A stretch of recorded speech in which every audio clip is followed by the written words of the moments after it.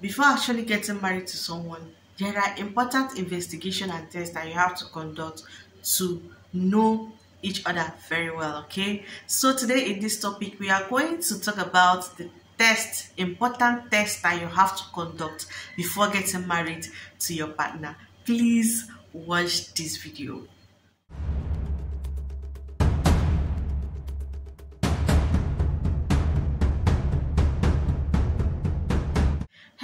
everyone welcome back to my channel. You're watching nurse frances and today we are going to talk about the important tests you have to conduct before getting married to your partner. Firstly these tests are very very very necessary and important. You have to bear in mind that the results that you get after this test shouldn't determine or shouldn't make you leave someone that you want to get married to, you truly desire to get married to, okay? But this test should make you know exactly what you are going to face for the rest of your life person you are going to stay with for the rest of your life, the conditions and the situations that you will be in for the rest of your life. It will make you give informed consent. Like, you know, this person has this particular disorder or this particular condition, but you truly know and you still choose to be with the person. It will help you make informed consent, okay? So that it won't be something that tomorrow it will be like, oh, this girl or this guy didn't tell me he was suffering from this okay? So you have to make sure you watch this video okay? Don't skip it at any point. The first condition we will look at is knowing your partner's hiv status okay? Like i said this shouldn't make you leave someone that you want to get married to. Rather it will help you to get to know the ways to adapt and live with this person even with their condition. It will help you know the ways to prevent contacting it or giving it to the partner that is negative and also how to avoid transmitting it to your unborn children. All these things are the things that you have to find out and put in place before getting married okay? So the next on my list here is the blood group okay? You have to know the blood group of your partner especially the female blood group okay? Because a woman that has a rhesus negative okay? Especially emphasis should be laid on the rhesus factor. If a woman has a negative rhesus factor it can make her to have rhesus incompatibility. And this rhesus incompatibility may predispose this woman to be having miscarriages and intrauterine death when she eventually gets pregnant. So this should make you guys know what is ahead of you. If this woman is rhesus negative and her husband or the person she wants to marry is rhesus positive, okay, it may lead her to having rhesus incompatibility and it may lead to miscarriages, it may lead to intrauterine deaths. Know all these things before going into marriage. Also, it will help you to plan yourselves very well and to know that you have to be getting this anti-D vaccine, okay? You have to be getting this anti-D vaccine, okay? After giving birth to each child, you know you have to give this vaccine to this woman to prevent her from having rhesus incompatibility. Next test and screening you should conduct is the STI screening. This STI screening is for you to investigate if any of you have a sexually transmitted infection okay? If any of you have any sexually transmitted infection you can start treating it as soon as possible because these sexually transmitted diseases can lead to infertility in the future and we wouldn't want that to happen.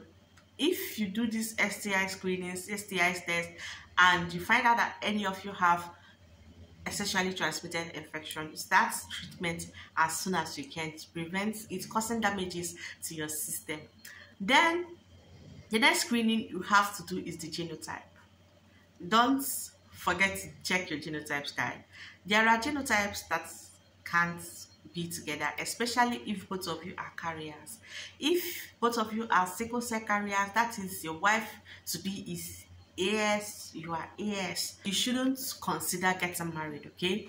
If both of you are AS, we discourage people who have genotype AS and AS getting married, okay? You have to, to find out your genotype before getting married to your partner. There are some conditions that are gotten from the gene that are transferred from the gene, okay? Conditions like albinism, conditions like sickle cell anemia, and other conditions that can be transferred through the gene.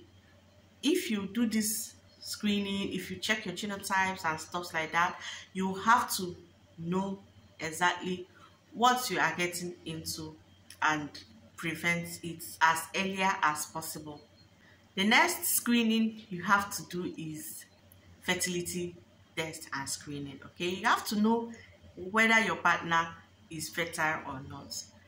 This should be both ways. Okay, it shouldn't just be a gender-based stuff.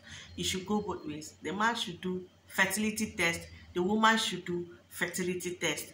Check your semen, check your eggs, check your fallopian tube, do HSG, do semen analysis, do scans, ultrasounds, and hormonal profile, and many other tests that you have to conduct before getting married. Infertility is something that a young couple wouldn't want to experience, okay? It has broken a lot of homes and it is better prevented before getting married. If you do this infertility test and you find out that, oh, one of you can't get pregnant or you will have conditions that will make them not to get pregnant naturally, at least it will give you the insight.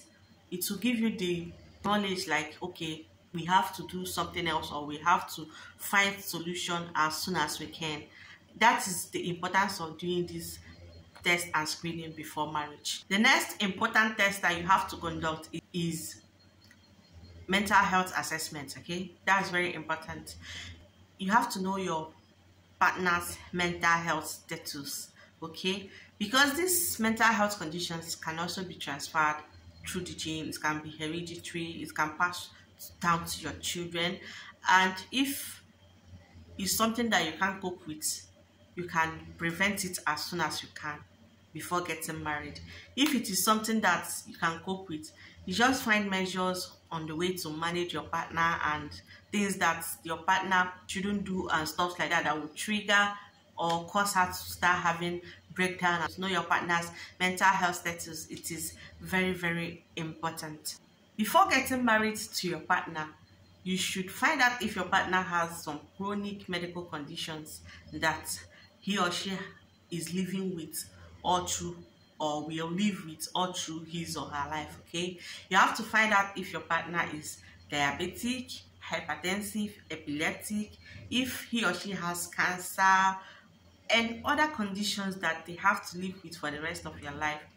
This is for you to know because if you don't know you may go into the marriage find out later and start regretting why you did okay? It is best you know before getting married to your partner. Know if he or she has a chronic condition that they will live with for the rest of their life. It will help you know better ways to manage them the food the drinks and the way to cut down on the things the activities they do in their life that will be all for today. I really appreciate you guys for watching this video till this very moment. And please make sure you hit the subscribe button subscribe to my channel turn on the notification bell so that when next i post another video you'll be notified. See you all in my next video. Bye